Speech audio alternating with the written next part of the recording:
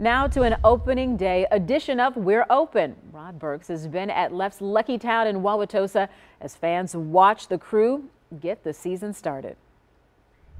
It's back to opening day business here at Leff's Lucky Town out here in Wauwatosa. Last year, there was no opening day crowd. Today, it all changed. I'm pretty excited actually. Uh, last year was tough. there was no baseball. Uh, first time last year in several years that I missed an opening day. So I'm uh, pretty jazzed. I wish we could tailgate, but I like being here too. The doors open up at 11 a.m. here at Leff's, and fans are pretty excited for some baseball. I think they have a really solid top of the lineup, all through one through nine is really good. Um, little weak on depth, and injuries are part of baseball, but I really think it'll be a good year as long as we stay healthy. And baseball's a game of averages, so all the players who struggled a bit last year should be back, and we made the playoffs with those guys not having top years.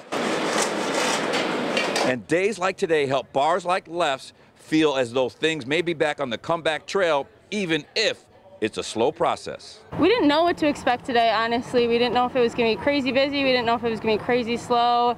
Um, yeah, there's fans back at the stadium, but obviously it's not a full stadium. So we didn't know what to expect, but we're I'm pleasantly surprised and happy with the outcome of today. So. And this fan's tickets for today's game was on the house. I am going to the game with my friends here from Leff's. Uh, we won tickets through their Facebook post, so we're really excited to go to opening day. In Wauwatosa, for opening day, I'm Rod Burks, TMJ4 News.